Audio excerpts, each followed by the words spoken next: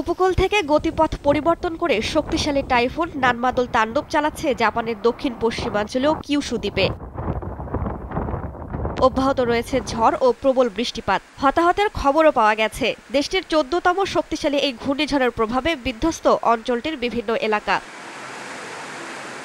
ক্ষতিগ্রস্ত হয়েছে ঘরবাড়ি ও আবাসিক স্থাপনা। বিদ্যুৎ বিচ্ছিন্ন অঞ্চলটির দুই লাখের বেশি মানুষ।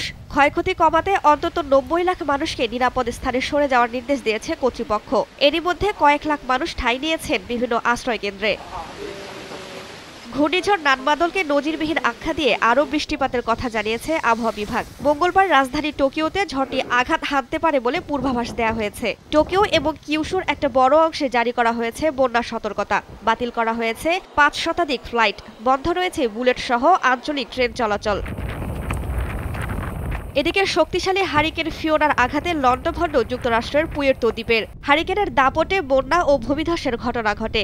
এখনও বিদ্যুৎ বিচ্ছিন্ন দ্বীপটির অনেক এলাকা। ডোমিনিক প্রজাতন্ত্রেও আঘাত হেনেছে ঝড়। এর আগেই সেখান থেকে অন্যত্র সরিয়ে নেওয়া হয় কয়েক হাজার বাসিন্দাকে। রাইসা জান্নাত, সময় সংবাদ।